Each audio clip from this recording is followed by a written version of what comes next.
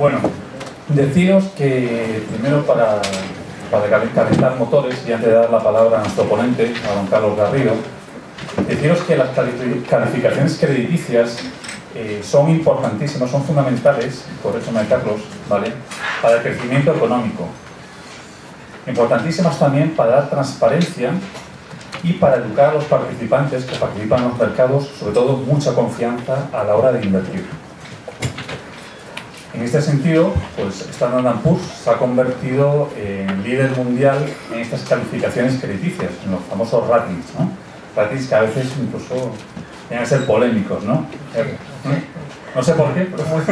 Muy, a, nuestro pesar, de vez en cuando sí que eh, resultan un tanto polémicos. Intentaremos eh, entender un poquito más el por qué.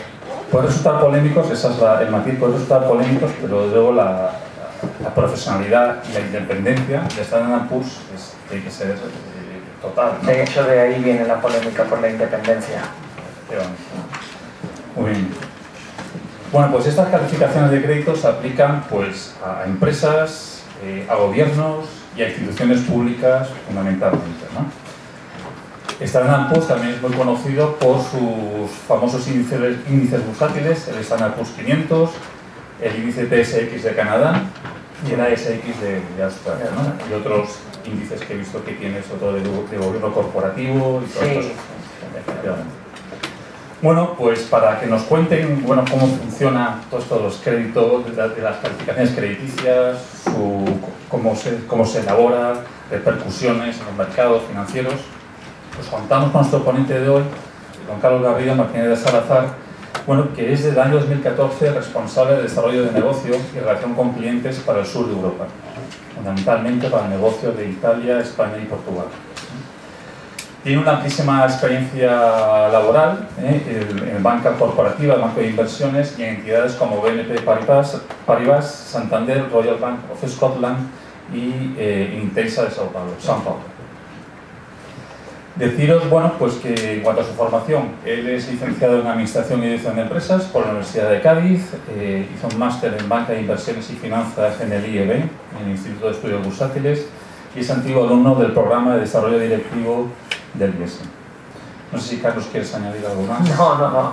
Bueno, ya añadiría, porque siempre me ha sorprendido una cosa, Carlos. Él habla perfectamente español, ya lo veréis. Bueno, el inglés, francés, italiano, ¿vale? Bueno, la de perfectamente, teniendo en cuenta que eh, incluso el castellano se me da bien, lo otro más o menos lo chapurré, pero por lo menos... hablan muy bien. Carlos, pues muchas gracias y bienvenido. No, muchas gracias a vosotros, gracias Juan, gracias a Deude, gracias a todos, por vosotros, a todos vosotros por asistir hoy. Eh, como estaba comentando Juan, yo preferiría que esto fuera más un, un, un debate, eh, un debate, un coloquio eh, donde se pudiera participar activamente, eh, sobre todo vosotros, que me paréis cuando queráis, que, me preguntéis cualquier duda que podáis tener, porque al final, si no, como me ponga a esta hora de la tarde, hablaros de ratings, que es de lo que vengo a hablar sobre todo, y a contaros un poco la trayectoria de Standard Poor's, etcétera, etcétera, pues más de uno se puede acabar eh, haciéndome vudú por, por, debajo de la mesa. Entonces, eh, por favor, de verdad, interrumpirme cuando queráis y, y, hacerme cualquier tipo de pregunta que, eh, como le estaba diciendo a, a Carlos aquí, eh, estoy acostumbrado a, la sangre y a la, y, a, la, polémica que genera todo el tema de Standard Poor's y sobre todo pues con el comienzo de la crisis, en la titulización de activos hipotecarios subprime, etcétera. Así que bueno, no tengáis eh, no tengáis ningún tipo de reparo, yo lo que pueda lo contestaré y lo que no pues eh, intentaré informarme y, contestar en cuanto me sea posible, ¿vale? Entonces, dado la, la dimensión de la sala y la estructura, eh, voy a intentar, eh, intentar moverme y, no centrarme solo en un área. Eh, pero bueno, como os decía, lamentablemente no soy el mago pop, no me dedico a... Entonces, bueno, si alguno se siente en algún momento que no recibe la atención adecuada, pues perdonadme, pero pero intentaré, bueno, pues como os decía, eh, eh, satisfacer a todas las necesidades que podáis tener en, este sentido, ¿vale? Entonces, bueno, Eh, por empezar un poco y centrar el tiro, eh, como decía Juan, yo trabajo para Standard Poor's, toda mi experiencia previa anterior ha sido en banca corporativa, mercado de capitales, banca de inversión y al final, bueno, pues me decidí a cambiarme a Standard Poor's porque digamos que completaba ese círculo en en el mundo de las finanzas donde, donde nos movemos, ¿no? donde por un lado tienes a las compañías, por otro lado tienes a los bancos, que son los que se encargan de, dar la financiación, y, por otro lado tienes a las agencias de rating que en aquellas situaciones en las que compañías, instituciones, gobiernos, eh, em, etcétera, em, eh, quieren acceder a los mercados de capitales fundamentalmente para la diversificación de fuentes de financiación, pues lo hacen eh, utilizando eh, un rating, ¿no? y en este caso en concreto un rating de Standard Poor's.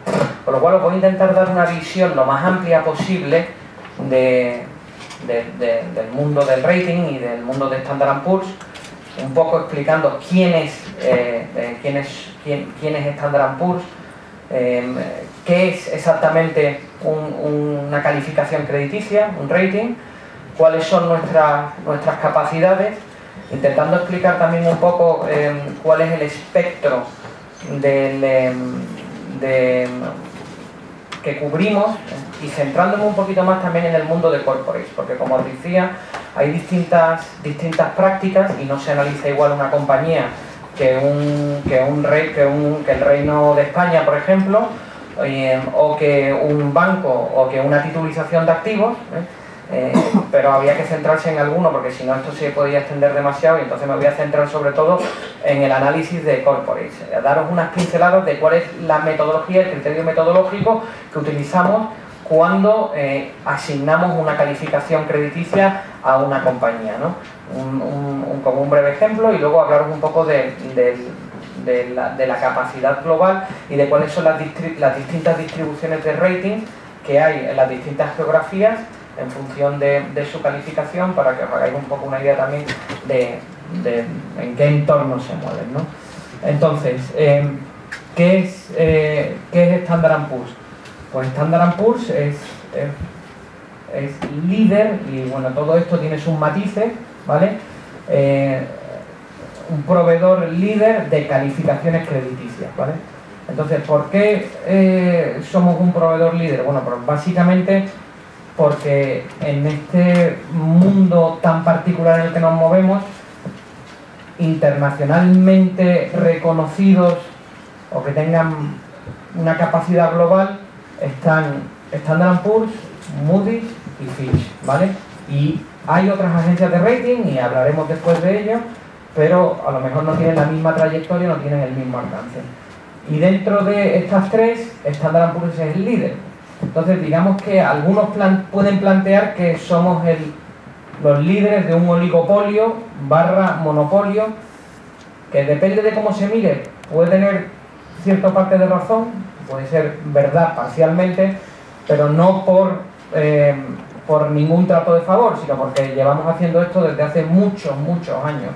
Y por ese modelo de negocio tan particular que tenemos, al final eh, es la confianza que los mercados tienen en nosotros, o sea, los inversores institucionales, por aquello por lo que somos líderes. O sea, que ha sido algo que hemos trabajado durante, durante el tiempo, ¿no? Entonces, al final, eh, pues los ratings, como estaba bien indicando Juan, eh, las calificaciones crediticias de Standard Poor's lo que se han convertido es en un instrumento más, un instrumento más, pero un instrumento fundamental para proporcionar de transparencia para ayudar a, eh, como decía, entidades, gobiernos, instituciones, etcétera, a crecer, ¿vale? Y para educar a los mercados para que puedan tomar decisiones con confianza, ¿vale? Entonces, y perdonadme porque voy a ir con la presentación esta que está un poco chapucilla así, pero como no soy capaz de ver todo lo que, lo que tenemos en la, en la pantalla todo el rato, pero me estoy moviendo, pues voy a ir también mirando esto, ¿vale? Entonces, como os decía, eh, perdona, eh, Standard Poor's, ¿vale? Es una compañía global que tiene un alcance mayor que el, simple negocio de los ratings, ¿vale? Entonces, la, la compañía se llama Standard Poor's Global, Standard Poor's Global, ¿vale?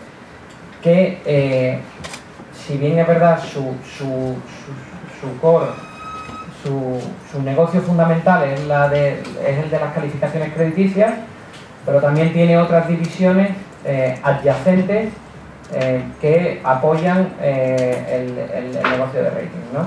Entonces, por un lado tenemos Global Ratings, por otro lado tenemos Market Intelligence, que es lo que anteriormente se conocía como Capital IQ, ¿vale? Eh, tenemos eh, Dow Jones Índices, que es eh, la parte que también había estado comentando Juan, y luego tenemos, tenemos Platts, S&P Global Platts, que es la plataforma que está más centrada en el mundo de los commodities, ¿vale? Así que en total, en, su conjunto, lo que somos es un proveedor de inteligencia de mercado, es a lo que, lo que aspiramos a hacer, ¿no?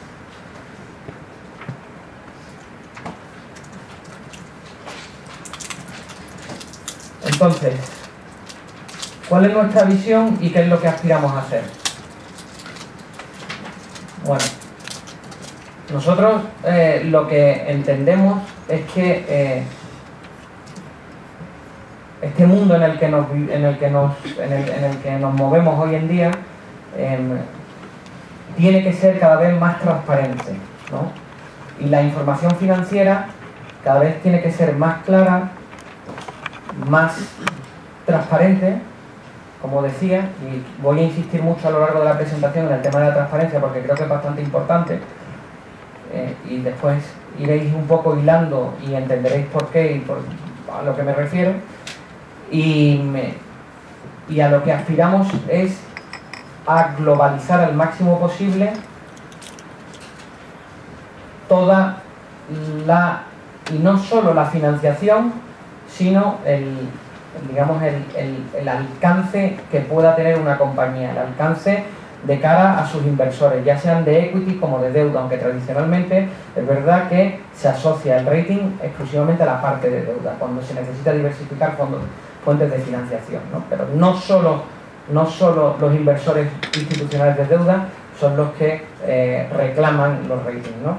Entonces, para que os hagáis una idea, nosotros eh, emitimos el primer informe en 1860 y desde entonces llevamos eh, proveyendo de eh, calificaciones crediticias y de este servicio que obviamente ha ido evolucionando a lo largo del tiempo eh, y ha ido transformándose en función de las necesidades que había fuera en el mercado y de lo que los inversores institucionales nos pedían.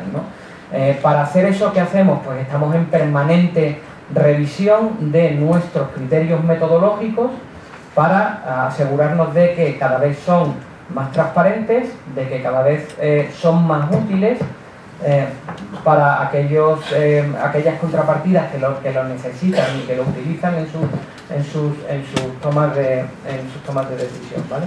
Entonces, por haceros una idea, para que os hagáis una idea de, de números, llevamos haciendo esto desde hace más de 150 años, tenemos un, una cobertura eh, y un conocimiento global, porque cubrimos todos los continentes, todos los sectores, eh, y prácticamente mm, no creo que deben de quedar, si es que hay alguno, no debe de haber eh, ningún mercado que no cubramos activamente, sea con presencia local, que lo hacemos. Aquí en España, por ejemplo, tenemos una oficina, que esto muchas veces cuando yo lo comento la gente se sorprende, aquí en España somos alrededor de 60 pues todo el mundo tiene la, imagen, la impresión de que Standard Poor's pues, es una especie de Darth Vader sentado en Nueva York que están con el dedo apuntando y diciendo tú eres bueno y tú eres malo y, no es así realmente.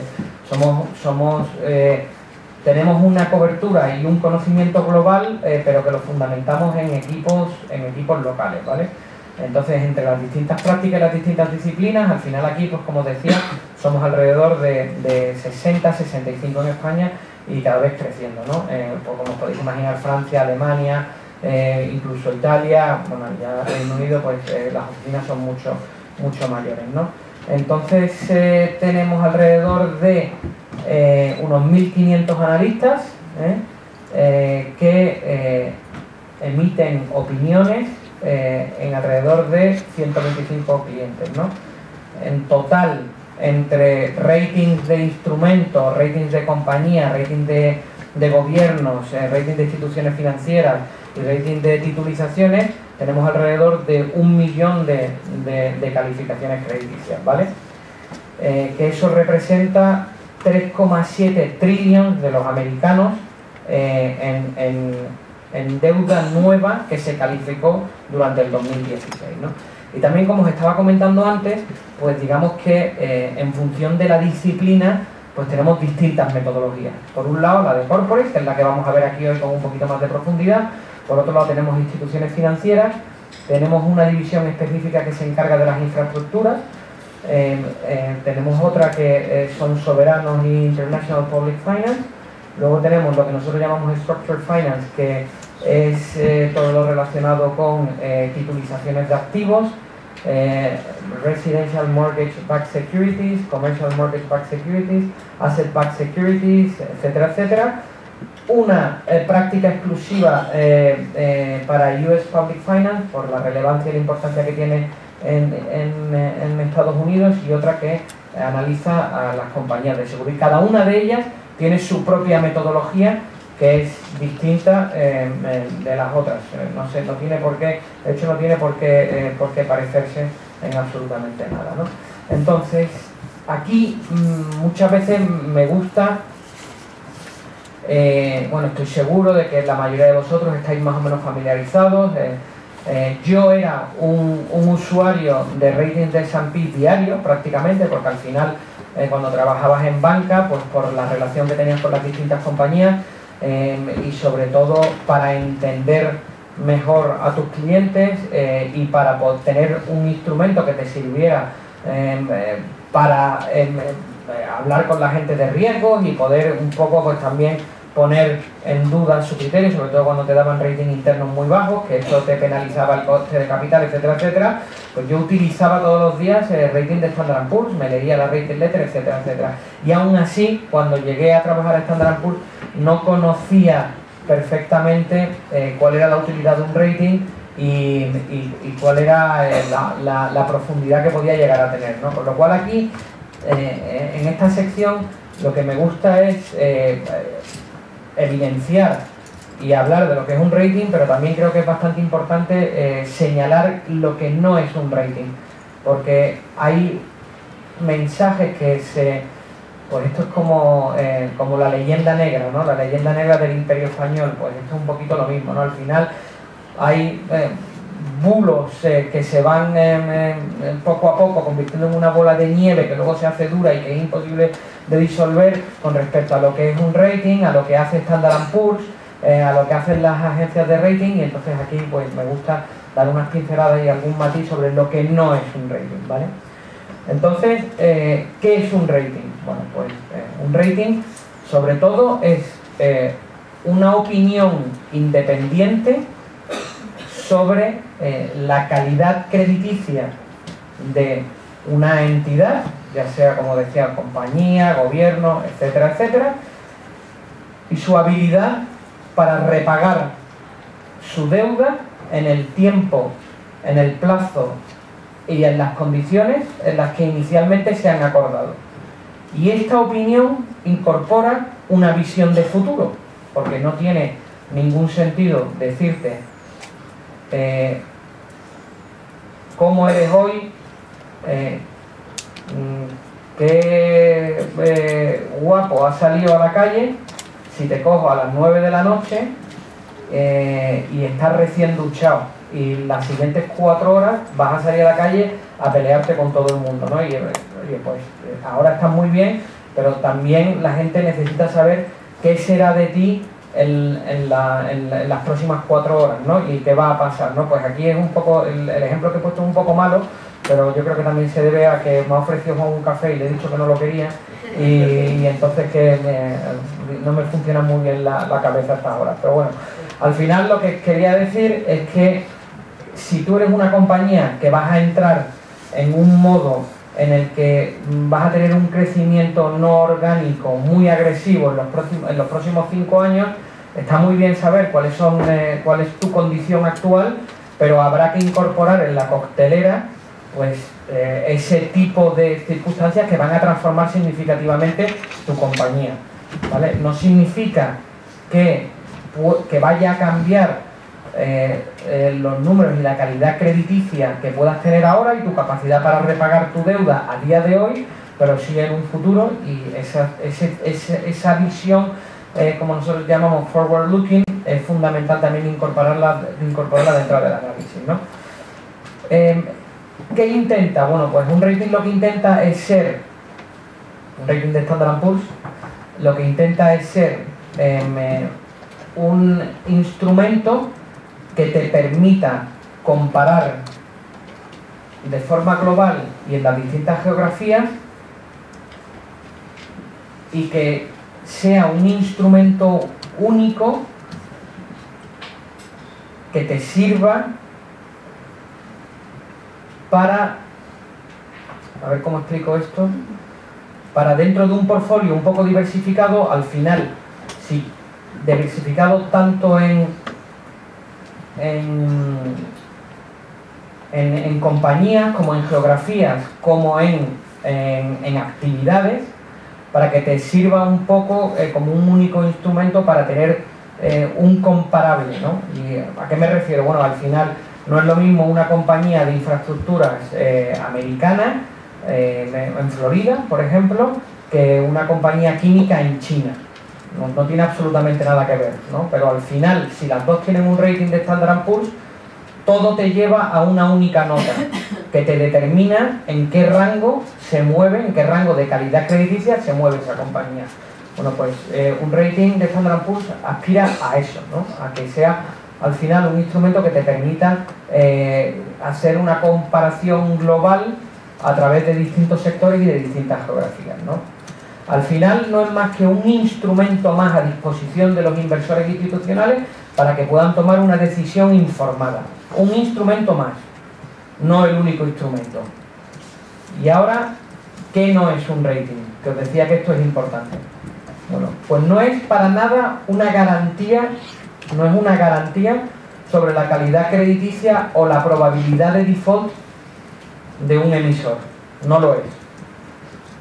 Eh, no es un instrumento que te sirva para determinar eh, si debes invertir o no en una compañía.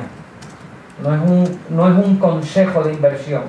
Sobre todo porque por temas regulatorios no podemos hacer advisory, no podemos hacer asesoramiento.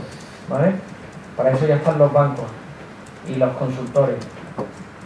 Eh, no es una, un instrumento que te sirva para medir la liquidez o ponerle precio a una compañía o a las acciones de una compañía.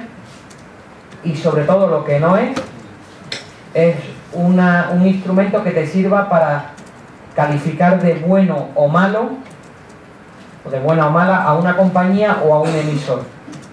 Y hay una tendencia muy popular y muy generalizada en Europa y especialmente en, España, eh, que es una de las cosas con las, que, con las que nosotros luchamos diariamente para mentalizar a las compañías de que no es así, es una tendencia que es soy investment grade, soy bueno, soy high yield crossover o lo que es, o lo que es non-investment grade y entonces soy malo. Y así me van a percibir todo el mundo porque Standard Poor's me ha puesto esta calificación o esta otra, ¿vale? Pues, pues eso es, una visión eh, incorrecta. Y eso es algo que los países anglosajones y especialmente en Estados Unidos tienen más que asumido y más que, más que procesado. Ellos están desde el punto de vista eh, de, em,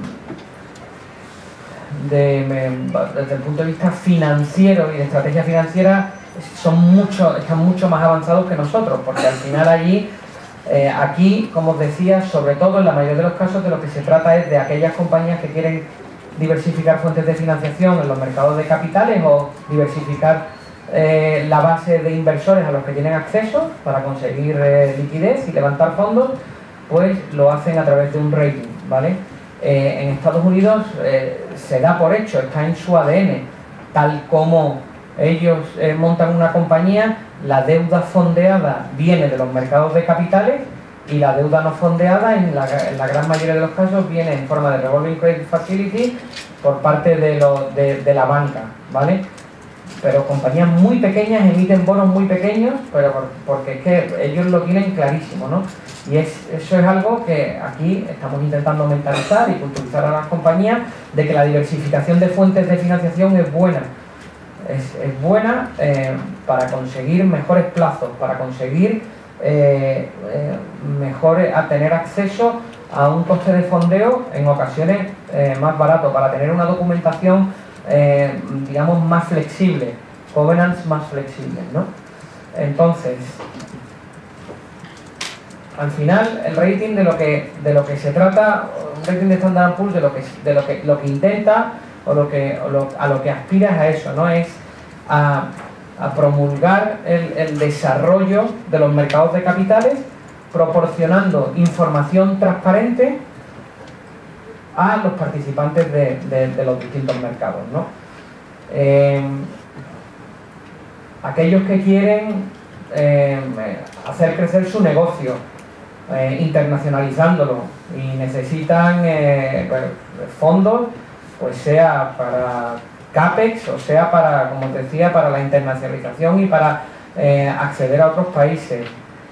aquellos gobiernos que quieren mejorar sus infraestructuras y para ello emiten deuda. o no tienen por qué simplemente emitir deuda, pueden mejorar sus infraestructuras a través de licitaciones. Esas licitaciones, si son nuevas, eh, eh, lo, que se llaman em, eh, en muchos casos también se pueden financiar en los mercados de capitales o a través de un rating. y ya si es brownfield, que son refinanciaciones de em, infraestructuras que ya existen, donde no hay riesgo de construcción, pues ahí es incluso más evidente el acceso a los mercados de capitales y a otras fuentes de financiación alternativa. Em,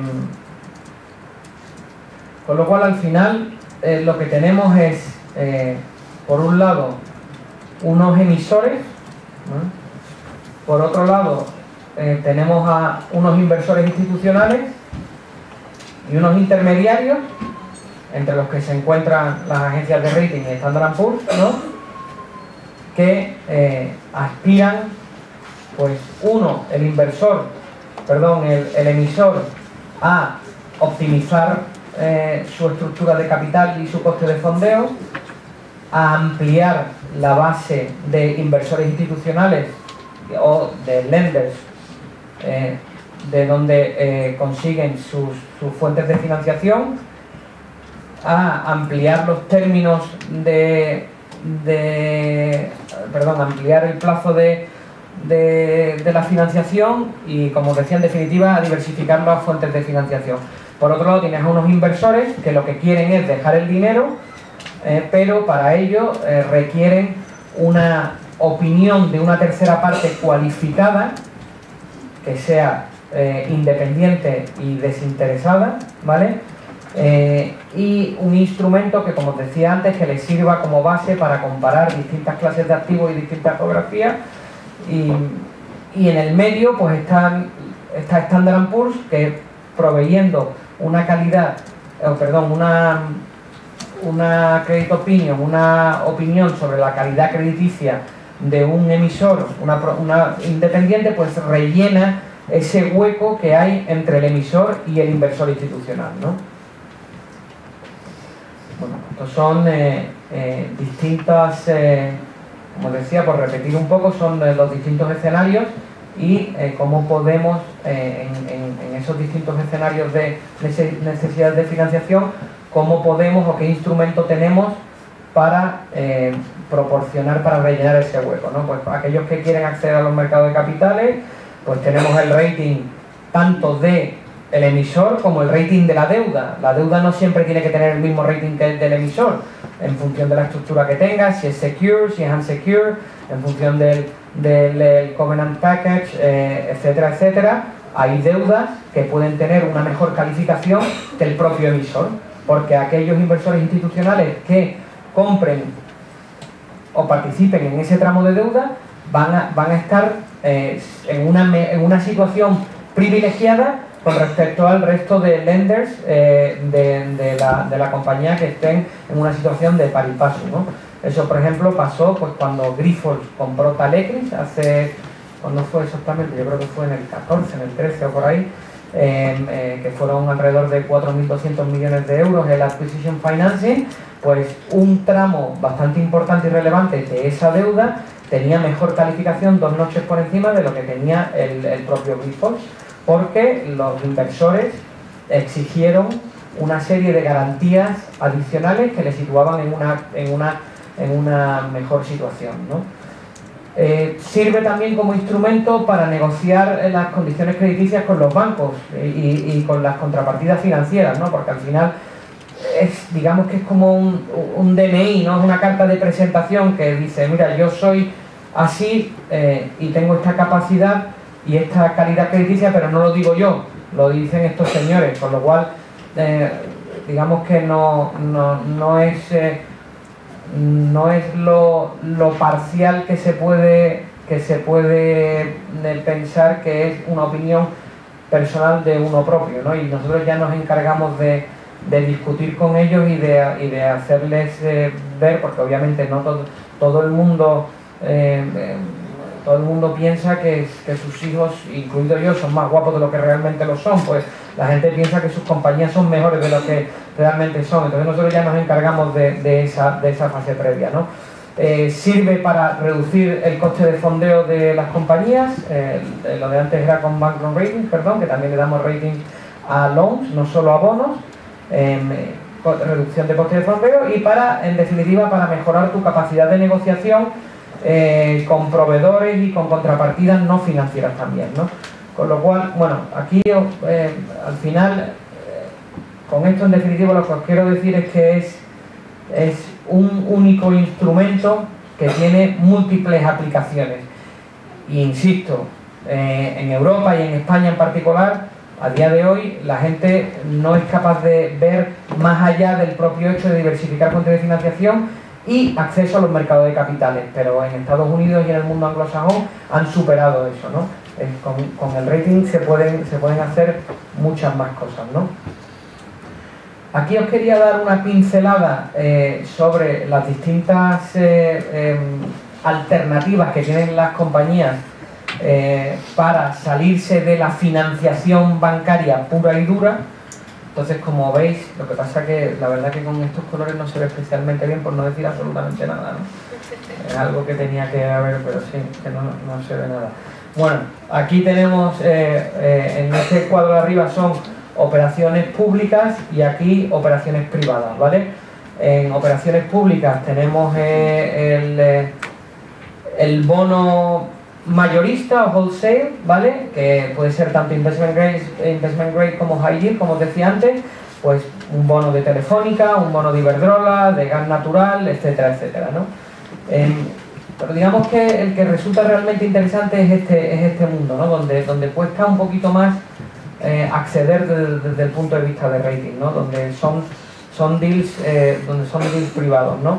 En deals privados que tienes, tienes el retail bond, supone que es esto, un retail bond es, es, un bono, digamos, eh, lo que se llama mini bond, como puede ser el MARF, no sé si sabéis lo que es el MARF, que es el mercado alternativo de renta fija, es, una plataforma que permite a empresas, a, pymes, a empresas más pequeñas, les permite acceder a los mercados de capitales, ¿no? cosa que antes era más difícil porque si no tenías un volumen mínimo de 250, 300 millones de emisión, pues no había un universo inversor suficiente como para poder emitir. Bueno, pues eso es lo que significa un retail bond. Retail porque son bonos más pequeños y los tickets que se compran, las participaciones que compran los inversores y el perfil del inversor es distinto. ¿no? Eh, luego tenemos eh, lo que se denomina el private placement, que es una especie de bono pero en versión privada, donde el, el grupo de inversores institucionales es menor, ¿vale? Y aquí puede ser en formato bono tradicional, pues el European, el Euro PP, que es, eh, digamos, el, eh, el, el, hermano pequeño del, del, famoso USPP, el US Private Placement, que es el, más conocido y el típico. Em, y luego, eh, si ya no está listado, pues ya es un... tenemos el European PP, el USPP, y luego tenemos la versión alemana que es el Schuldschein, se llama, ¿vale?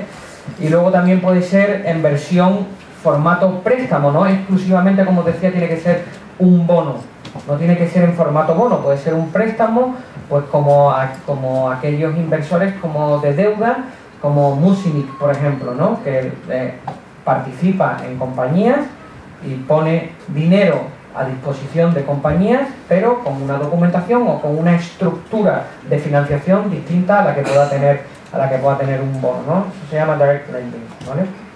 Bueno, esto un poco por, por, hablar de las distintas versiones de financiación a las que tienen acceso las distintas compañías y como en todas ellas, pues con el apoyo y la ayuda de un rating, pues se, te puede servir para levantar esos fondos, para acceder a otro tipo de financiaciones que no, que no había. ¿no? Y luego, bueno, comentaros que en el mundo del, del rating, o sea, cuando pides una, un rating y no eres investment grade, ¿vale? Eh, viene, en el caso de la deuda, viene acompañado con una nota de recovery, que va del 1 al 6, ¿no? El, recovery exactamente qué es? Bueno, pues el recovery es, eh, nosotros estresamos el modelo de la compañía hasta que hace default y en ese momento la liquidamos y vemos en función de dónde estés eh, como, como lender, en qué, en qué de ese tramo de deuda en concreto, donde te sitúes, vemos cuál es la probabilidad de, eh, o cuál es el porcentaje de recuperación con respecto a lo que has puesto que tienes, ¿no? Entonces, en el caso de, por ejemplo, de Grifols, como os comentaba antes, ese tramo de deuda que tenía un paquete de garantías adicional a la deuda eh, eh, de otros préstamos indicados o otros tramos de deuda, tienen una probabilidad de recuperar un porcentaje mayor de lo que pusieron. Con lo cual eso lleva una nota de recovery asociada a ese tramo de deuda. ¿no?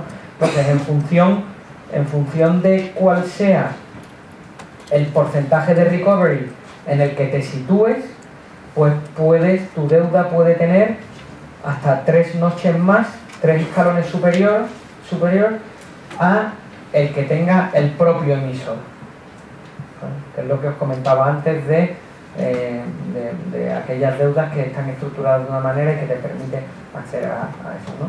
Bueno, pues simplemente para que sepáis que cuando os encontréis con un rating que venga una nota de recovery, que sepáis a lo que hace referencia y lo que, y lo que significa. ¿no? Y esta es la, la famosa y tradicional escala que tanto que tanta controversia ha generado en muchas, en muchas ocasiones, especialmente eh, con el estallido de la, de la crisis. ¿no?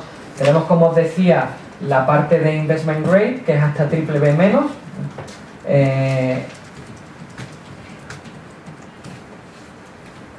hay, para aquellos que no lo sepáis, A, B y C, todas ellas triple, doble y individual, o sea, triple A, doble A, A, y en cada una de las categorías hay más neutral, o sea, nada y menos, ¿vale? Lo digo porque aquí, después de triple B menos, viene triple B flat y luego viene triple B más, que es, lo que, es la calificación que tiene en la actualidad el Reino de España, ¿vale?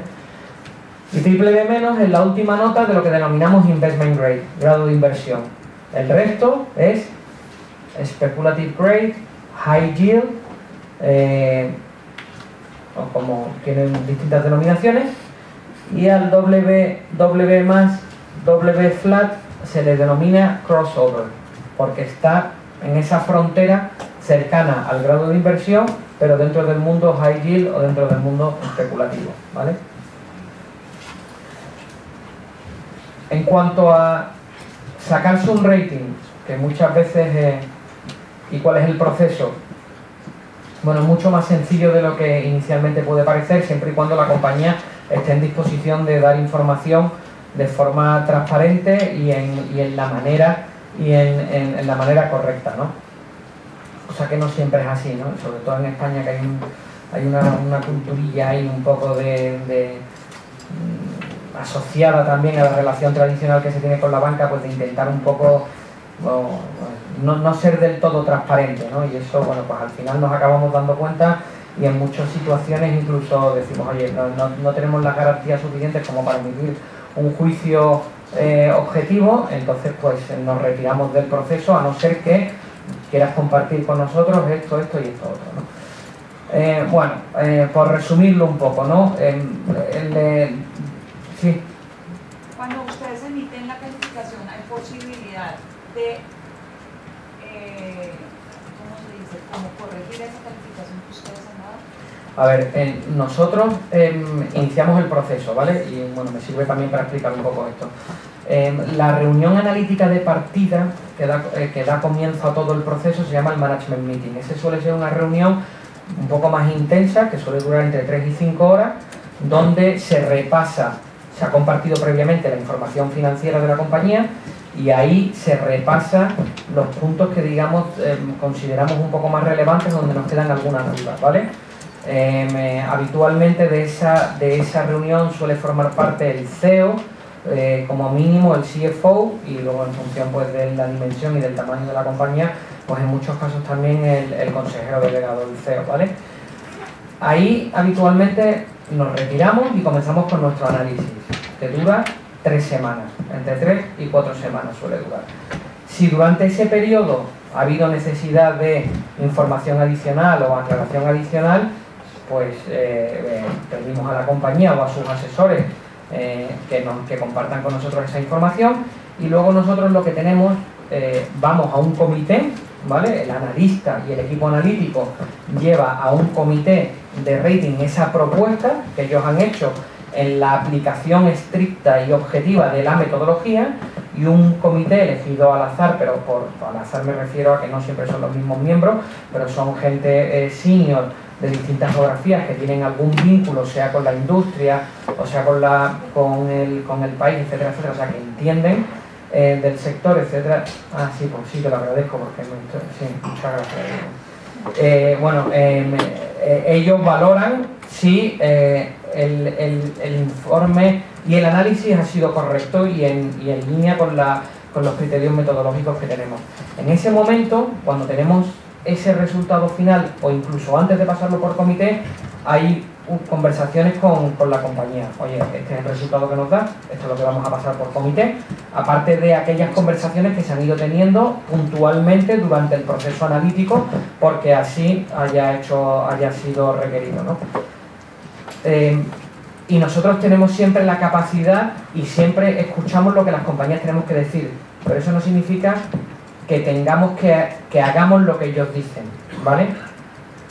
Y una vez que se emite y se va a comité, esa es la decisión final que se toma independientemente de lo que la compañía piense y ese es el resultado que nosotros damos. Entonces, hay interlocución, hay capacidad de hablar, hay capacidad de compartir distintos puntos de vista, pero lo que no hay capacidad es de influenciar nuestro criterio, nuestra decisión. Te pongo un ejemplo. Nosotros, pues, eh, eh, en función de los distintos defaults que ha habido a lo largo de la historia en las distintas geografías y en los distintos sectores, sacamos unas conclusiones, unas premisas, ¿no? como por ejemplo la caja. Cada agencia de rating pues, tiene, su, tiene su niña bonita y nosotros le damos mucha importancia a la caja y a la liquidez. Entonces, eh, eh, nosotros tenemos eh, previsto que en el sector retail en Alemania, cada vez que una compañía ha hecho default, te digo por decirte algo, ¿eh? el 20% de la caja se evapora directamente, ¿vale? Pues nosotros cuando hacemos nuestro análisis le aplicamos ese haircut a la caja. Decimos, oye, dentro de estos parámetros, si hay una situación de default, como te decía que es el caso de recovery, este 20% sabemos que no podemos contar con él. Bueno, pues no todo el mundo obviamente está de acuerdo con eso.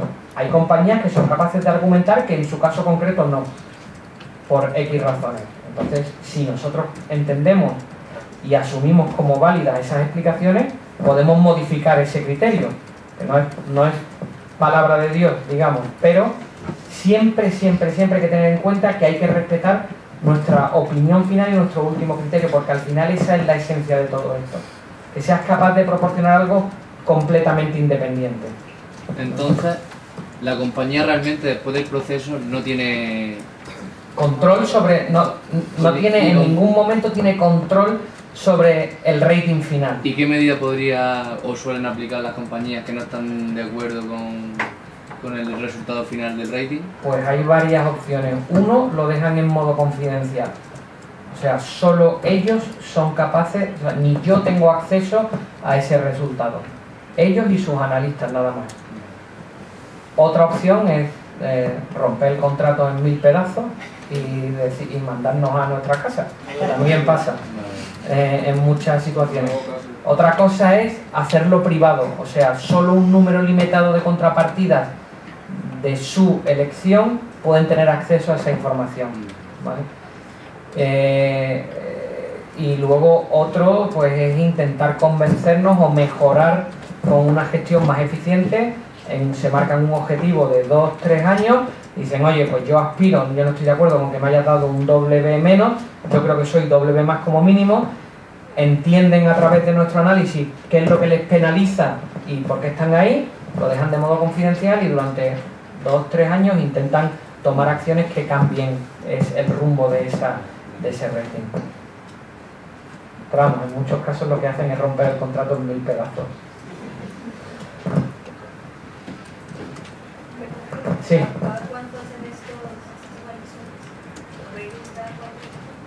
A ver, el rating es un, es, es un animal vivo, digamos, ¿no? Por lo cual eh, eh, es una opinión que como mínimo, o una calificación que como mínimo, como mínimo, se actualiza una vez al año, muy rara vez, porque al final, pues como las compañías, pues siempre, pero cada vez que la compañía lo considera adecuado o lo requiere, hay una actualización, o si hay un movimiento de un movimiento corporativo porque se han comprado algo, o porque hay una refinanciación de, de un préstamo, o cualquier situación que así lo requiere, eh, digamos que genera la, la actualización del estado. No sé si esto me está se me está subiendo.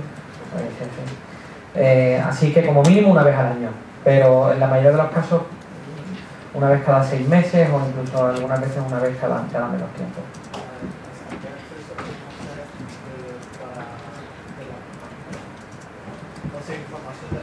Bueno, nosotros, eh, toda aquella que la compañía nos quiera proporcionar y quiera compartir con nosotros, que habitualmente va mucho más allá que la simple informa- información financiera que compartes con los bancos o con otras contrapartidas. Lo que pasa que el límite lo ponen ellos, pero tenemos unos requisitos mínimos que si no se cumplen no, no, no emitimos ningún juicio.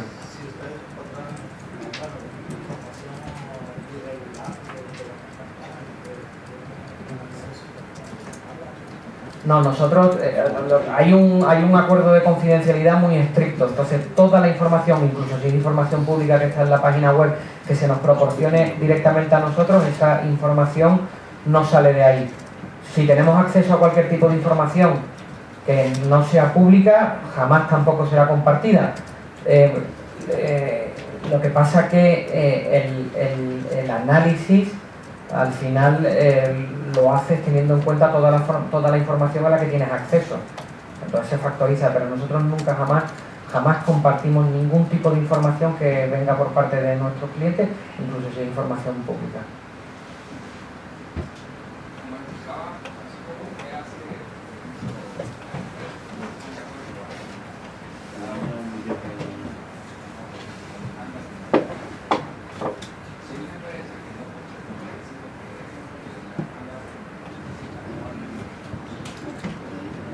Nosotros al final, si es una compañía que ya tiene un rating público, eh, sacamos una revisión y decimos, eh, lamentablemente, eh, debido a X circunstancias o a no tener acceso a la información mínima requerida, tenemos que retirar la calificación crediticia de esta compañía.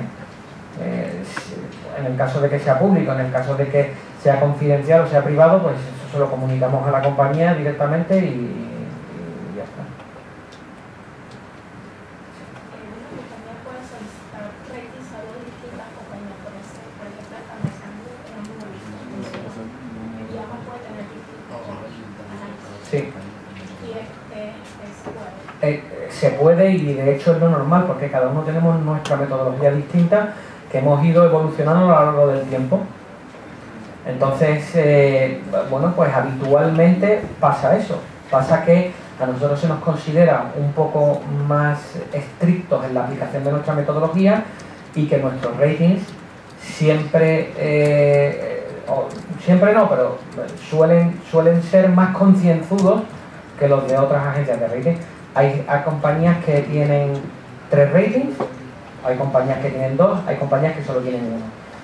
Aunque los tiempos están cambiando y tampoco quiero hacer aquí, quiero ser excesivamente comercial, eh, tradicionalmente aquellas compañías que solo tenían Standard Poor's podían acceder a los mercados de capitales solo con Standard Poor's. Si solo iban o con Fitch o con Moody's, era imposible. Entonces lo que se hace habitualmente es te sacas el de Standard Poor's y luego uno de los otros dos. Sí. ¿Cómo cobran a las compañías? En es por calificaciones, por ejemplo, No, no, no. Eh, y y es, es parte de lo que de lo que sirve para introducir también esto de lo que iba a hablar ahora. ¿no? Hay distintos, distintos modelos de negocio, ¿vale? Bueno, tenéis que tener en cuenta y, permitáis, y me vais a permitir que aquí sea un poquito más, más cauteloso, es que eh, aunque no os lo creáis, pero ya os lo digo yo que es verdad, un analista de Standard Poor's y supongo que de Moody's y de Fitch igual no tiene ni idea de lo que cuesta un rating, ni idea. Ellos pueden tener acceso, al igual que cualquier otra persona, a cuánto gana S&P Global y pueden tener acceso a las cuentas, pero no saben ni el detalle de lo que cuesta un rating ni cuánto se gana anualmente con aquellos clientes que ellos califican, ¿vale? Para intentar mantener un poco la independencia a la hora de, de- hacer el análisis, ¿vale? Entonces hay distintos modelos, ¿vale? Está el modelo de eh, suscriptor, ¿eh? que son una serie de inversores, un, hedge fund eh, un, o, compañías financieras que te pagan por eh, hacer una serie de, de reports, ¿vale? Eso es lo que se llama un unsolicited rating, o sea, no te lo solicita el emisor, sino que te lo solicita otra contrapartida, ¿no? Y ellos te pagan porque tú hagas eso. Ahí obviamente la información a la que tienes acceso es más limitada, porque si el- el- la compañía no quiere tener el rating, no te va a dar cierta, cierta información y no tienes acceso al management tampoco, ¿no? Luego tenemos el Government Utility Model, que son eh, ratings eh, que directamente un gobierno, eh, donde hay una participación de inversores institucionales, etcétera, tiene como suscriptores y, bueno, es, un modelo más mm, ligado al, sector público y luego está el Issuer Pay Model, o sea, el emisor es el que te paga, ¿vale? Y de aquí, la, digamos, lo, lo, lo tricky, lo, peliagudo de todo esto, ¿no? Que al final, a nosotros solo, nosotros no, no tenemos unsolicited rating. Bueno, a no ser que sea mm, Arabia Saudí o un, un- un gobierno muy particular, porque al final eso lo tienes que tener, ¿no? A España le tienes que calificar. Te pague o no te pague, a España le tienes que calificar.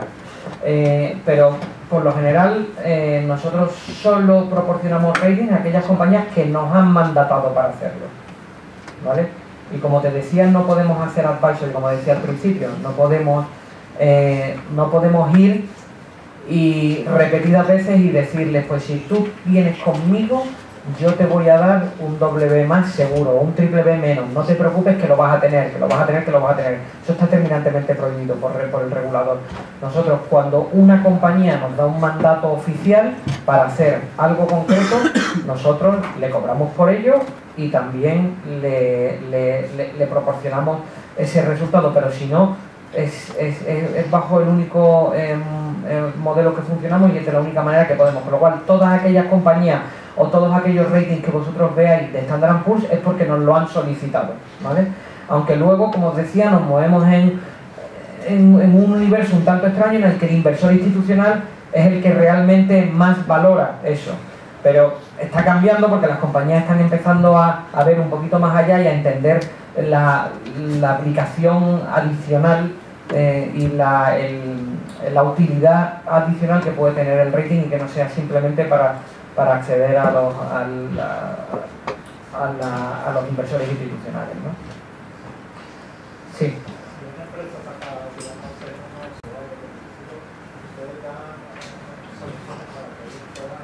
No.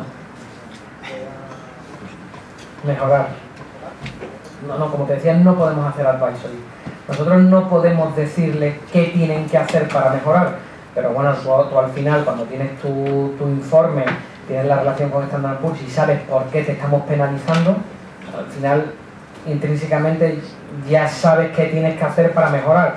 Si te decimos que te hacen falta eh, una revolving credit facility, una backup revolving credit facility de 1.500 millones para eventuales eh, em, potenciales problemas que puedas tener en el futuro, pues ya sabes que eso te está penalizando y que en el momento en el que consigas tener ese exceso de liquidez eh, o ese colchón de liquidez, pues mejorará tu rating, seguramente. Claro, yo te iba a preguntar, si hay personas que a lo mejor no quieren eh, que le hagas una calificación pero sienten la presión de proveedores o de inversionistas para que pase por esa calificación, por esa ganancia. sí. ¿Eso es habitual? Bueno, sí, sí lo es. O sea, al final, eh, pues por ejemplo, dentro del mundo de leverage finance, de todo lo que son adquisiciones eh, por parte de sponsors de private equity, eh, ahí es muy habitual que haya un rating. Y es un rating en versión privada. ¿Por qué? Porque esos tramos suelen tener, o sea, esas estructuras suelen tener un tramo que sea un term loan B o un tramo que sea mezzanine o algo que sea un tramo de deuda un poco más junior que va o a hedge funds o a inversores institucionales cualificados, ¿vale? No al típico banco BBVA Santander de toda la vida. Eh, y esos inversores institucionales te exigen que tenga un rating. ¿Y por qué? Porque luego eso se mete dentro de un vehículo que se llama eh, un CLO, que es eh, Collateralized Lending Obligation, que habitualmente suele también tener una calificación y con eso se tituliza. Entonces, al final, esas compañías se ven en cierto modo obligadas a, si quieren acceder a ese tipo de financiación, tienen que tener un rating de Standard Poor's o un rating. Entonces, bueno, pues no, en muchos casos a lo mejor no lo querrían. ¿Por qué? Pues porque son costes adicionales que le tienes que meter a la transacción o porque eh, al final pues eh, les va a salir una nota un poco menor. Pero en el mundo, en el mundo del, leverage finance es, es, es, es- fundamental. Y no, no siempre, al final, bueno, pues eh, es como la documentación o los covenants, son imposiciones que te pone el mercado que, que- que son así.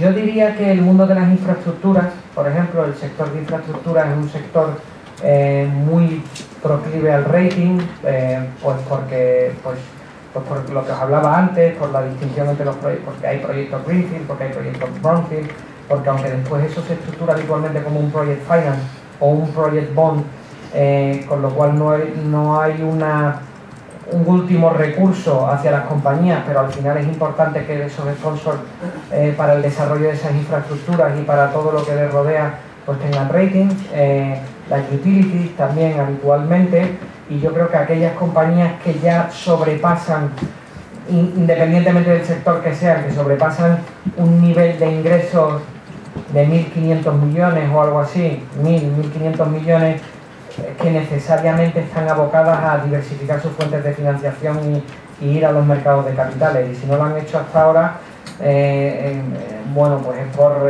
la liquidez excesiva que tenemos y por las condiciones en el entorno en el que estamos actualmente y por las condiciones en las que están accediendo a la, a la- a la financiación por parte de los bancos, pero al final tendrán que acabar en ese modelo. Hay algunos que lo hacen sin rating, no todo el mundo eh, lo hace con rating, hay algunos que hacen un private placement y que hay inversores que son cualificados, que hacen su propio análisis y que no te exigen un rating.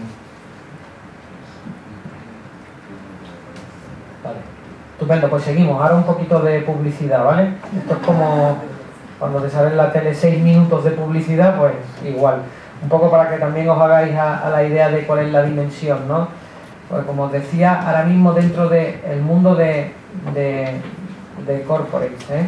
tenemos pues eh, 50.672 compañías, instituciones financieras 58.000, compañías de seguros 6.850, government securities, o sea, los gobiernos y sus emisiones también casi un millón, y eh, structured finance, pues todo el tema de titulizaciones, casi 50.000 activos eh, titulizados, ¿no?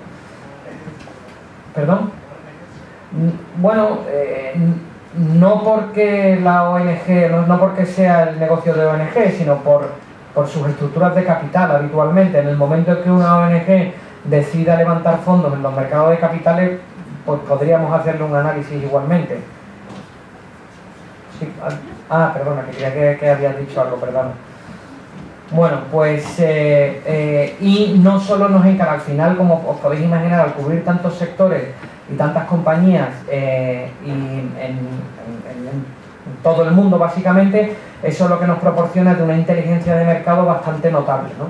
Entonces no es solo el hecho de darle el rating a eh, la compañía y decir tú tienes tal calificación, sino que nos da conocimientos de sectores, conocimientos de mercados, que eso pues también es, es parte del, del- del- del conocimiento que compartimos con los inversores institucionales y con la comunidad en general, y no solo con nuestros clientes, sino pues aquí estoy yo hoy intentando eh, hablar con vosotros de esto. eh, si eh, un día, como fue la última vez que vine aquí, eh, fue para hablar de Project Bonds, me parece que fue, ¿no, Juan? Pues si hay que hablar de Project Bonds, pues se habla de Project Bonds, de lo que sabemos, de nuestra experiencia, de lo que vemos. O sea, al final, digamos que cubrimos un espectro muy amplio, que lo que nos da es una inteligencia de mercado brutal, y toda esa inteligencia de mercado la intentamos compartir. Estamos ahí fuera, estamos ahí eh, para ser un elemento más de apoyo a la comunidad financiera no para ser un árbitro o un juez que determina quién es bueno y quién es malo, como os decía antes, ¿no? Con lo cual, bueno, pues eh, economistas, eh, en conferencias, en eventos, en relación con los inversores, etcétera, etcétera, ¿no? Con respecto a la, a la metodología de corporates, como os decía, ¿vale? Hay distintas metodologías, pero me quería centrar un poco en cómo analizamos las compañías, ¿vale? Tenemos eh, una metodología que lo que se basa es en lo que digamos, en lo que decimos, lo que llamamos en los building blocks, ¿vale? Son distintos bloques por los cuales empiezas, cada vez se va haciendo una bola de nieve más grande, más grande, más grande, más grande, hasta que llegas al, rating final, el rating del issuer, ¿vale? Entonces, están primero el Business Risk Profile, luego tienes el perfil financiero de la compañía, eso te determina lo que se llama el valor ancla o anchor, que después se someten a una serie de modificadores que te dan el standalone credit profile de la compañía o del emisor. Y luego aquí se le, se somete a un último criterio, que es el de, el de grupo o el de eh, influencia eh, por parte de, de- la gestión del gobierno o de la propiedad. ¿no? Entonces, por empezar con el, con el Business Risk Profile, ¿vale? Con la primera parte de la metodología. Bueno, aquí tenemos Country Risk, o sea, tenemos lo que se llama el CICRA, ¿vale? Country and Industry Risk Assessment, ¿vale? El Country Risk es el riesgo de país. Es, perdonad, ¿ves? que es que no me acabo yo de hacer con esto. Eh, es el riesgo de es el riesgo de país. Es el que eh, si eres una compañía española donde el 85% de tus revenues provienen de tu mercado local, pues riesgo de país que estamos asumiendo aquí es el riesgo de España y el riesgo de que le pase algo a España. El hecho de que seas una compañía española no significa que el único riesgo de país que pondere sea el de España, porque cuando eres Inditex y la gran mayoría, o Grifols, donde el 85% de sus ventas dependen de otros mercados, pues España es lo que menos pesa. Y entonces se hace una media, se pondera en función de qué peso tienen cada uno de los países. Nosotros habitualmente tenemos, eh, a los países los tenemos calificados entre el 1 y el 6, siendo 1 lo mejor y 6 lo peor. Y ese risk assessment, ese resumen, digamos que viene eh, recogido aquí, ¿vale? Entonces, ¿cuáles son los distintos ajustes y cuáles son los distintos parámetros que consideramos para llegar finalmente a una nota de entre 1 y 6, ¿vale? Pues no me quiero meter en el detalle de todo, ya os digo que si alguien tiene particular interés en tener acceso a la metodología, en entender algún apartado más, se puede poner en contacto conmigo y yo le explico y le paso eh, eh, información suficiente para que lo pueda entender porque toda nuestra metodología es pública. ¿vale? Todo lo que nosotros utilizamos es totalmente público. Otra cosa es que, eh, una, que se entienda, no que la entienda todo el mundo, porque sinceramente hay veces que yo hay ciertas partes de la metodología que no llego a controlarlas totalmente, también es verdad que no soy analista, ¿eh? pero bueno, una cosa, como decía, es que se entienda y luego es que la metodología tiene, consta de una parte cualitativa y otra parte cuantitativa. Entonces, eh, aquella que es un número, un ratio, eso no hay no hay discusión posible. Está dentro de un rango, es un número, es lo que es y punto, ¿no? Pero aquella que está un poco más sujeta a una interpretación personal, pues ahí es donde se genera un poco más de, de- polémica, más de confusión o que le cuesta un poco más entender a la gente de, a la gente de fuera, ¿no? Porque nosotros al final inevitablemente tenemos que tener una opinión propia eh, y cuando no es eh, tan racional como, como un resultado, como un número, pues eh, digamos que es un poco más, un poco más difícil de, de- de comprender. Intentamos que la metodología sea más eh, eh, de, número, ¿vale? Que, que de interpretación personal, cada vez más. Pero al final, inevitablemente, siempre tiene que haber una, una parte, como decía, que, que sea interpretación personal. Entonces, para que veáis un poco, como os estaba comentando antes, eh, aquí tenéis los distintos países, ¿vale? Y la calificación, la clasificación que tenemos de los distintos países. Entonces, eh, España está aquí, ¿vale? En un 4. Lo que consideramos un eh, riesgo moderado. Esto es bastante probable que eh, no esté actualizado y de hecho no lo está. Sí, sí, pero esto no estoy del todo seguro que esté bien. Y España ahora mismo es un 3, ¿vale? Que es riesgo intermedio, estoy casi seguro. España es un 3, que estaría aquí. Bueno, como veis, todavía estamos lejos de aquellos con países que se consideran que tienen un, un riesgo menor, ¿vale? Cuando tienen información muy variada, por menos de cualidad de países, en cuanto a cuestión política, y hay tanta, por lo menos en el caso de Venezuela, que hay tanta controversia, y unos opinan una cosa y otra, entonces esa parte de cómo analizan, está diciendo la parte cualitativa. Ya. Bueno, eh. Bueno, ten en cuenta que nosotros en lo que nos centramos sobre todo es en la capacidad, en la capacidad de repago, ¿vale? O sea, estamos muy centrados en, en la, en la capacidad crediticia. Entonces, cuando nosotros damos una nota a un país, eh, no valoramos, eh, o sea, al final siempre tienes que tener en consideración aspectos políticos, ¿vale? Y de hecho nosotros con el tema de Cataluña recientemente hemos publicado eh, una nota donde damos nuestra visión y nuestra interpretación, pero siempre, en último lugar, hacemos la reflexión de cómo eso puede perjudicar a su capacidad para repagar la deuda. Con lo cual ya acotamos el- un poco las opiniones y, y, lo que y lo que y la información que recibimos. Y luego al final, pues eh, nosotros, a- sobre todo a quien le hacemos caso, es a la, a la, a- la, a la información de primera mano. O sea, si yo tengo que opinar o decir algo sobre ti, eh, pues a qui- quién mejor que a ti para preguntarte. Que muchas veces es lo que yo le digo también a otras contra a la gente fuera por ahí, ¿no?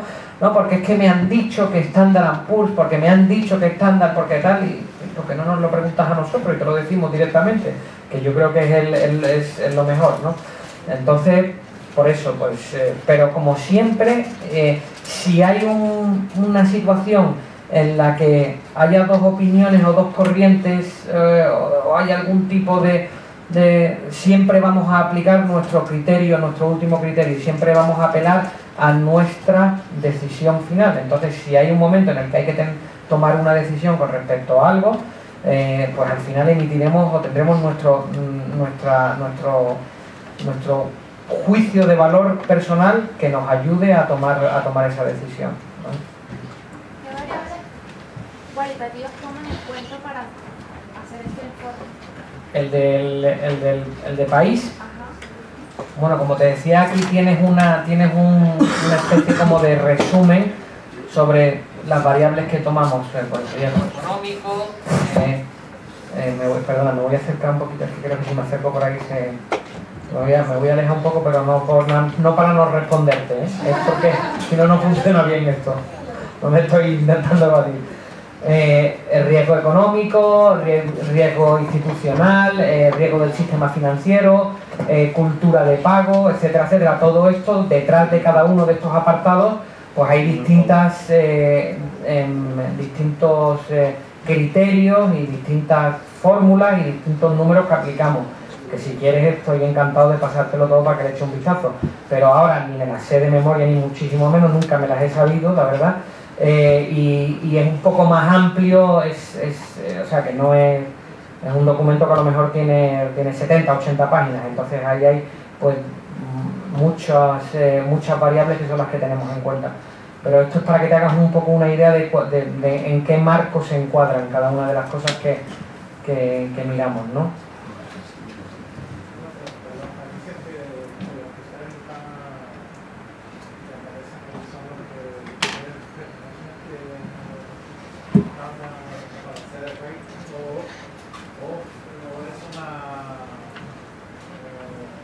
Por ejemplo, porque no parece mucho de los países, por ejemplo, países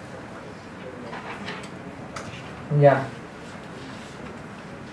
A ver, eh, como te decía, como decía antes, nosotros eh, damos rating solo a aquellos que nos lo piden, menos en el caso de soberano, eh, donde ahí creo que debe de haber muy pocos países a los que no califiquemos, ¿vale?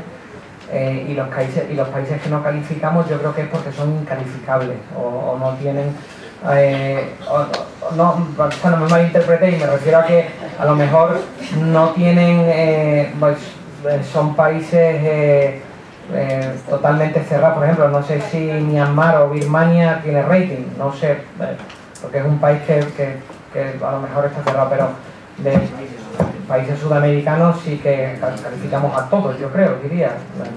No sé si aquí no aparecen porque hay un grupo, eh, no están todos, o sea, no están todos los países que calificamos, ni muchísimo menos.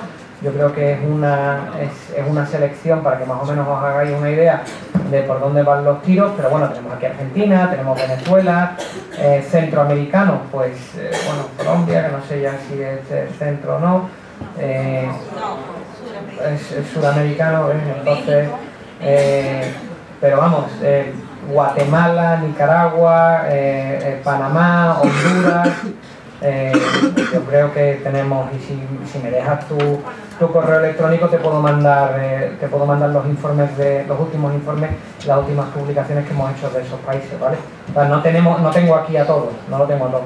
Pero aquellos países que no tengan rating nuestro, le hacemos, si es necesario, hacemos el Country Risk Assessment igualmente.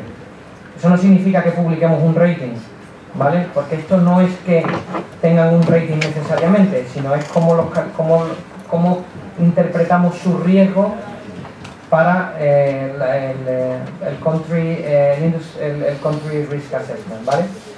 Entonces, como os decía, Country Risk viene dado, Industry Risk, tres cuartos de lo mismo, también viene dado. Al final, el riesgo del sector o la interpretación que tenemos de los riesgos del sector, pues es la misma. Es una utility, es una utility y los riesgos que asume en España son los mismos prácticamente, independientemente de la, de la que sea. ¿no? Por lo cual, digamos que estos son unos factores más externos a la compañía, que son independientes y más difíciles de controlar para ellos, ¿vale? Porque no, no hacen referencia directamente a las métricas de esa compañía, ¿vale? La eh, combinación de los dos te da un resultado de 1 a 6, igualmente como decía, ¿no? Entonces, la industria que incorpora el Industry Risk, la, eh, la ciclicidad, ¿vale? Y el riesgo competitivo y el entorno de crecimiento. ¿no? Son las distintas calificaciones que tenemos para las distintas industrias, ¿vale? No sé si estarán todas, creo que no están todas, pero hay una gran selección de ellas, ¿no? Entonces, esto es, eh, pues entendemos que Si te mueves en el ámbito de una utility en regulada, pues como puede ser eh, en Agas en España o red eléctrica, pues tu riesgo es muchísimo menor que eh, si eres una compañía que te dedicas al transporte o si te dedicas a, a, a metals eh, y- and mining, por ejemplo, ¿no? ¿Perdón? A la minería, por ejemplo. A la minería, sí. Bueno, bueno, no es lo mismo tener eh, un activo regulado que sabes que te va a pagar eh, y donde tienes una predicción y una estabilidad de flujos de caja que un sector o que ser una empresa de infraestructuras en, en- en Florida, donde un año sí, un año no, tienes un huracán que puede barrer eh, todos tus activos. Y a lo mejor si solo tienes autopistas o concesiones en, en Florida y estás sujeto a ese riesgo climático, pues digamos que pues, es evidente que el riesgo que, que asume eh, tu compañía, tu, tu sector, el mismo que el que, el de- el que, como decía, el de red eléctrica, sí. Hay también riesgo reputacional. Riesgo reputacional. Dentro de nuestra, de nuestra valoración, mm, Sectores de la economía que estén como vetados. Mm, No. Sectores de la economía que estén vetados, no. Lo que sí que tiene riesgo reputacional es el management de una compañía.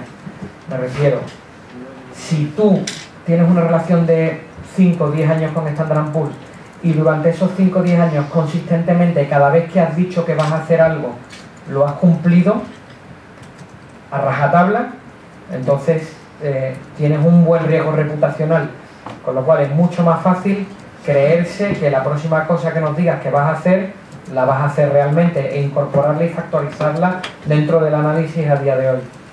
Bueno, pues entiendo que al igual que si te beneficia también te puede perjudicar, ¿vale? Pero ese es el único riesgo reputacional que nosotros eh, hacemos o factorizamos dentro de, de la, metodología.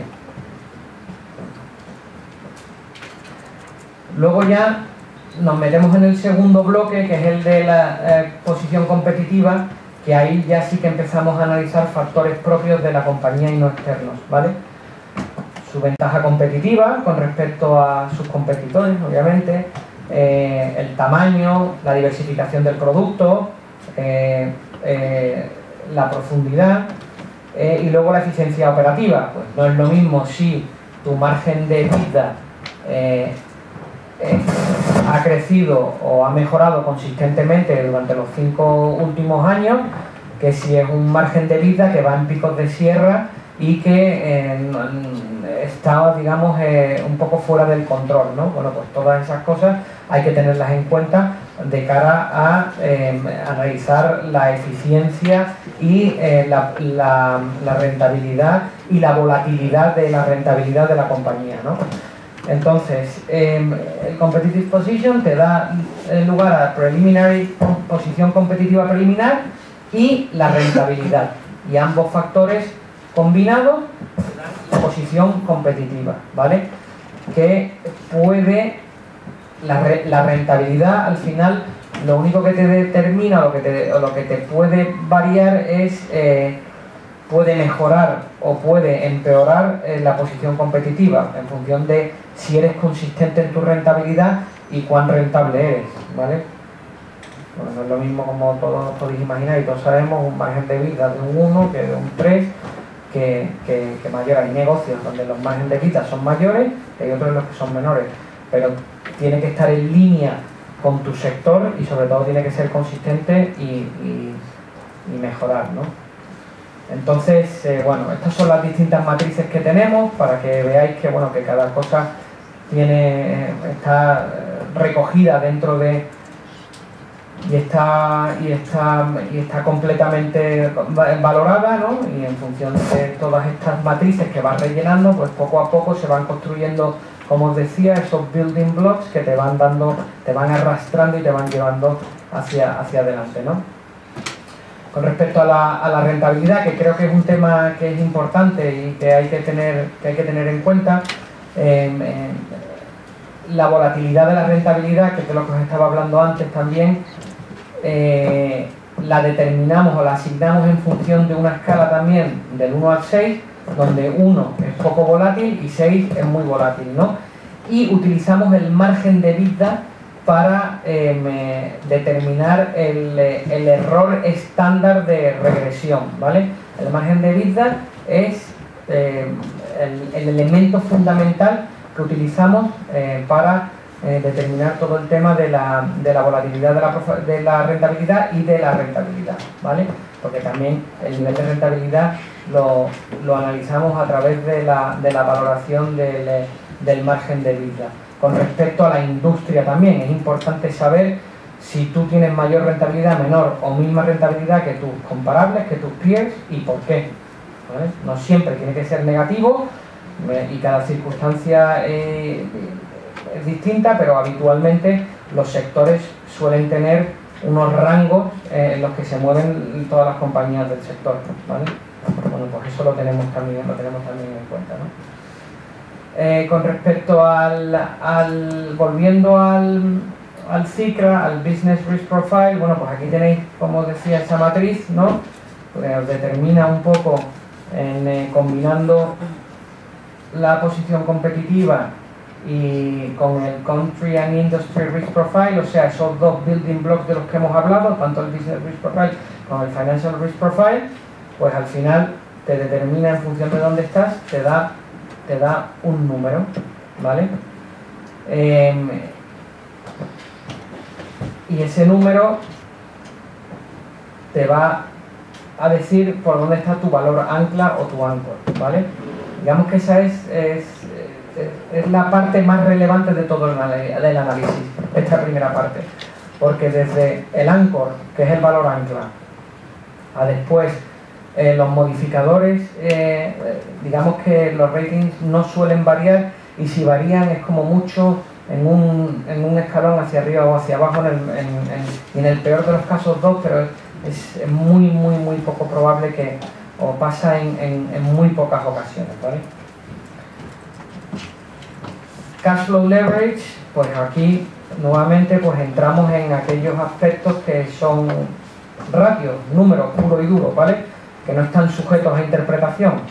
El número que te sale, ese es el que ¿no? ¿Cuáles son los ratios que miramos? Free funds eh, from operations eh, deuda, deuda EBITDA, free funds from operation eh, cash, EBITDA sobre intereses, em, el, em, cash- operating cash flow deuda, free operating cash flow deuda y em, el em, discounted cash, eh, em, flow eh, deuda también, ¿vale? Entonces, bueno, pues en función de cada uno de estos ratios, que son los ratios fundamentales que miramos, pues ahí poco a poco vas conformando y vas poniendo, vas, vas formando la matriz que te va, que te va. Es que ya no sé qué es lo que suena, perdón, porque me estoy moviendo esto todo el rato, pero perdonad si os resulta molesto, pero estoy intentando que no se me mueva mucho. Bueno, pues como os decía, ¿ves? Eh, voy repitiendo cosas y volvemos y entramos y volvemos y un poco para que, para que se os vaya quedando en la, en, en- la cabeza la estructura. ¿eh? Eh, otra vez, Country Risk Profile, Industry Risk, Competitive Position, eso es el Business Risk Profile, Cash Flow Leverage, que te da el Financial Risk Profile y con eso sacamos el Anchor, ¿vale? Entonces, ¿cómo es el Anchor? Bueno, pues el Financial Risk Profile nos había dado un número, el Business Risk Profile nos da otro número y eso nos lleva a una matriz. Pues aquí en este caso eh, está entre A menos y triple B. ¿vale?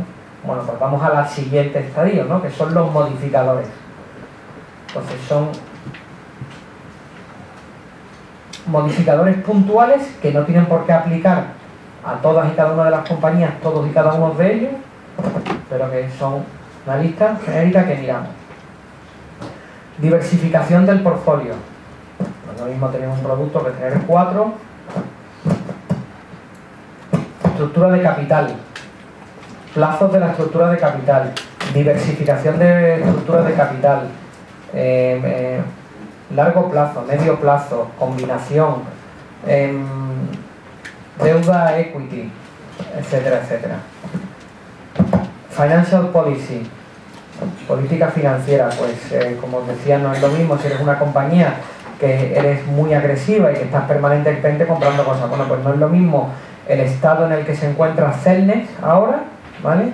Que es una compañía que desde que eh, Avertis eh, hizo ese spin-off o ese eh, IPO parcial de la compañía está en un modo de adquisiciones permanentes, está creciendo, creciendo, creciendo, lo cual está llevando a em, el endeudamiento de la compañía y su apalancamiento lo está llevando a límites en los que hay otras compañías que han pasado ese, esa, esa fase o ese estado y están en un momento más prudencial, pues como es el caso de Iberdrola o gas natural. Bueno, gas natural, cuando se compró ACS, eh, perdón, Unión Fenosa, se lo compró ACS en el 2007 por 19.500 millones, algo más, me parece que fueron 20.000 o 20 y pocos mil millones de, de, euros, pues su política financiera en ese momento no era exactamente la misma que la que es ahora, era mucho más agresiva y estaba dispuesto a asumir muchos más riesgos por crecer y diversificar. ¿no? Liquidez, como os decía antes, que es uno de los factores que nos preocupa bastante, y el, el management. Pues ahí vamos un poco también o del riesgo reputacional, entre otras cosas. Es un management conservador, es, familiar, no es familiar, es, primera generación, tercera generación, es un management independiente em, que no tiene nada que ver con la, con la propiedad, etcétera, etcétera. Y luego hacemos el peer comparison, que es eh, la comparativa con, con tus con, aquellas compañías que compiten contigo en el sector, con tus comparables.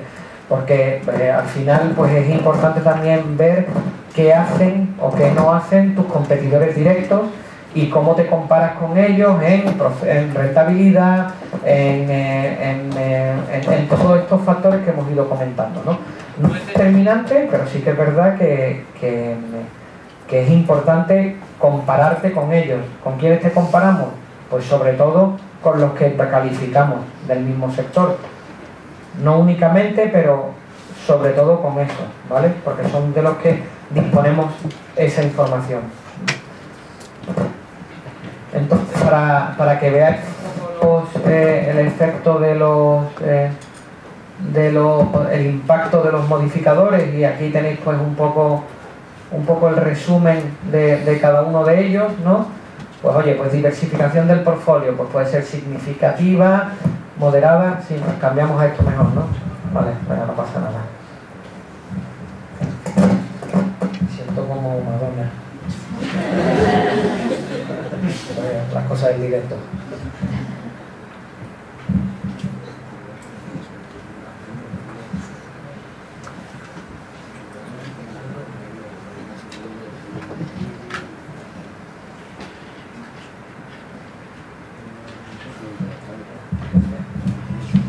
Bueno, pues eh, como os decía, diversificación del portfolio, eh, pues, eh, distintas categorías, estructura de capital, etcétera, etcétera. Aquí asignamos también nuevamente un número en función de la consideración y, luego pues todo eso se mete en la, en la, coctelera y te dice si el rating, el anchor te lo llevas un rating un, un notch hacia arriba, uno hacia abajo o si es neutral.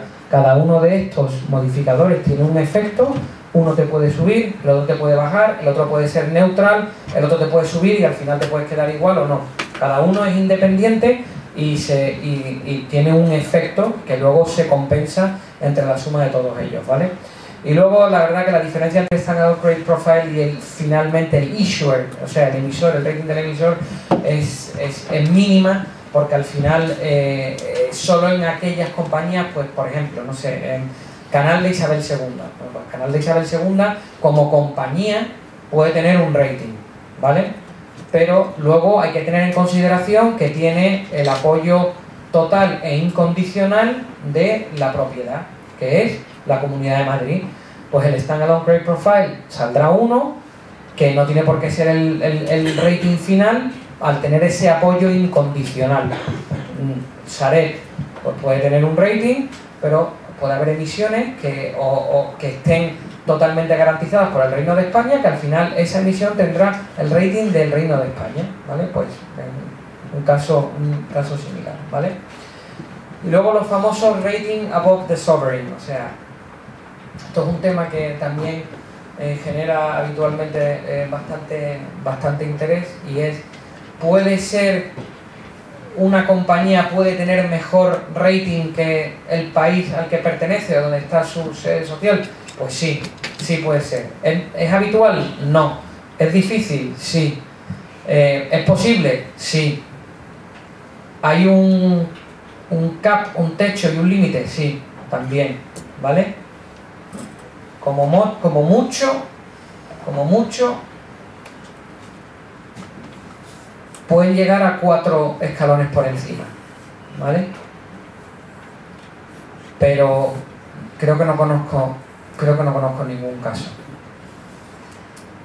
A ver, es bastante difícil mm, no de argumentar, sino de demostrar que no tienes una dependencia total al país donde, de donde, de donde, de. ¿Y por qué? Pues os decía, tiene que ser casos muy evidentes como el que pudiera ser el de Inditex, que no tiene nuestro rating, por cierto, o el de Grifols, o aquellas compañías que están totalmente diversificadas tanto en productos como en países en los que operan. Pero, pero es, es, es muy difícil asumir que eh, una circunstancia adversa en tu país de origen no va a tener un impacto significativo en tu compañía. ¿vale? Entonces, si cae el consumo masivamente en, en España, ¿cómo afecta eso a Inditex? Pues obviamente no, le, no la somete a una presión tal como para que no pueda hacer frente a sus compromisos, que creo que no son ninguno porque no tiene deuda, afortunadamente para... Bueno, no, afortunadamente no. Bueno, depende de cómo se mire. Un poquito de deuda nunca está de más. Eh, pero hay muy pocas compañías que se salgan de ahí, ¿vale? Entonces, eh, eh, es una pregunta que siempre se nos hace, oye, pero ¿podemos ir por encima? Pues sí, se puede ir por encima. BBVA, no, pero Santander está un, un escalón por encima. Eh, Enagas está también un escalón por encima. Hay muchas compañías que están por encima. Los aeropuertos, la mayoría de ellos, eh, tienen un escalón por encima de- del- del país en el que están. Y ahí la diversificación sí que es evidente que no hay diversificación. Aeropuertos de Roma. Eh, AENA, lamentablemente, no la calificamos. Pero seguramente le saldría también un, un escalón por encima o en algunos casos dos. ¿no? Entonces, poder se puede, pero no es tan fácil ni tan evidente. Y bueno, ya que os he estado hablando todo el rato de Grifols y os estaba comentando Grifols, pues simplemente eh, un, un- un ejemplo mini práctico para que podáis ver un poco eh, el caso de Grifols cómo es, ¿no? Pues el country risk tiene dos, que es bajo, ¿por qué? Pues incluso por encima del de España, ¿por qué? Porque como os decía, el 85% de su EBITDA viene de fuera, eh, la industria tiene un riesgo bajo, la eh, competitive position pues tiene un 3 que es satisfactoria y eso te da un business risk profile de satisfactorio 3 cash flow leverage significant que estaba bastante apalancada sobre todo cuando se compró Talecris hace unos cuantos años. Eh, y eso le daba un perfil eh, de riesgo financiero bastante elevado 4 cuando siendo 6 el peor y 1 el mejor. Y su valor ancla era de W más esta serie de, de modificadores, uno neutral, otro neutral, otro neutral, otro negativo, neutral y neutral, al final lo que hicieron es que le bajaran un escalón porque eran todos neutrales menos este que era negativo, ¿vale? Con lo cual pesaba el negativo, está el Credit Profile W, no hay un impacto por parte de Group Governance porque la compañía de, que cotiza y que eh, no, no, hay- no tiene un apoyo específico por parte de, de otro grupo, eh, incondicional e irrevocable, con lo cual su Standalone Credit Profile era de W, mientras que la deuda eh, que, calificó y que emitió en apoyo de esa adquisición de Talecris, por cómo estaba estructurada, tenía un rating superior de W más, un notch por encima, ¿vale? Entonces, rápidamente, un poco, para que también intentéis entender eh, o veáis la diferencia entre eh, la metodología del rating corporate y de otras prácticas en el tema de soberanos, ¿vale? Pues estos son, eh, a grosso modo, estos son los, los distintos bloques que, que tenemos en cuenta y que vemos. Luego ya habéis visto que detrás de cada uno de ellos pues hay un desarrollo mucho mayor, ¿vale? Eh, y si- es- em, efectividad institucional, estructura económica y proyecciones de crecimiento, liquidez eh, internacional y externa y acceso a esos inversores y a esa eh, base de i- inversora extranjera, eh, eh, fiscal performance y flexibilidad eh, con, la- con- con el grueso de la deuda, ¿vale? Y la flexibilidad monetaria. En el caso de, como os decía, de, los ratings, pues bueno, hay compañías, y aquí no lo he traído, la verdad que se me ha olvidado, pero bueno, hubiera sido interesante, pero os lo, cuento. Nosotros tenemos una matriz eh, en la cual determinamos la primera vez que se le dio un rating a una compañía que era AAA, la una que era AA, triple B, etcétera, etcétera, y luego los años, y entonces tenemos una estadística que dice, oye, pues cuando una compañía es AAA, la probabilidad de que te haga default en un año es del 0,01. ¿Por qué? Porque esas son las compañías que nosotros hemos calificado AAA o AA y que en un año, en dos, en tres, en cuatro, en cinco. Entonces esa matriz al final, si tú lo miras, ves que los porcentajes de default son, van de menos a más en función del rating más alto, pero no hay ningún caso en el que un rating peor tenga un mejor porcentaje o un menor porcentaje de default. Con lo cual eso lo que al final te confirma es que los ratings, eh, aunque no lo creáis, los hacemos y los hacemos bien, ¿vale? Porque la estadística, y no es una cosa que nosotros hayamos estimado, sino que son datos reales, así lo, lo certifican, que cuanto mejor rating tienes, menos probabilidades tienes de default, cuanto mejor rating tienes con, con Standard Poor's, ¿no? Pero es curioso, y aquí vais a poder ver un poco cuál es la diferencia entre las distintas geografías y sobre todo lo que os decía de Europa, de si eres investment grade eres bueno, eres eh, high yield eres malo, y cómo eso está totalmente superado en el mundo anglosajón y sobre todo en Estados Unidos. Entonces, de todos los corporates, de todos los corporates que tenemos, bueno, y aquí esto un poco refleja lo que os decía, ¿no? Si eres AAA, en 10 años tienes un 0,72% de, de default, que es la tasa que hemos tenido, 0,77W, veis cómo va creciendo y aquí, bueno, obviamente se dispara porque el triple C es una situación de, de- calidad crediticia muchísimo más, eh, más delicada, ¿no? Y ahí hay, un salto brutal, ¿no? Pero bueno, esto os da, os enseña que no son estimaciones, sino que son datos reales, ¿vale? Esta es la misma, la curva, pero en, una curva, lo podéis ver aquí, que son- es lo mismo, pero que entonces una curva que a lo mejor es un poquito, un poquito más, más gráfico, ¿no? Estas son las distintas compañías, bueno, que os estaba comentando antes, está la gente, Data Analytics, etcétera, etcétera. Y aquí era donde yo quería ir, ¿vale? Entonces, estos son eh, los eh, todos los corporates eh, que nosotros eh, calificamos en el mundo, ¿vale? Entonces, la distribución en el rango triple B, que todavía está dentro del investment grade, es el 26,4%, ¿no? Pero en el 27,2 es el rating B, que alguno puede llegar a pensar, o en España puede llegar a pensar que es, es, es una calificación horrorosa, ¿vale? Y que es una calificación malísima. Bueno, pues no es así, no es así, y esto lo demuestra. Estas compañías tienen rating y acceden a los mercados de capitales y, diversifican fuentes de financiación y se benefician de eso, incluso teniendo una calificación crediticia peor que la que pueda tener una compañía eh, doble A, ¿vale? ¿Por qué? Porque ahí fuera hay un universo inversor para cada una de las compañías y hay contrapartidas que están dispuestas a asumir distintos tipos de riesgos para todas las compañías.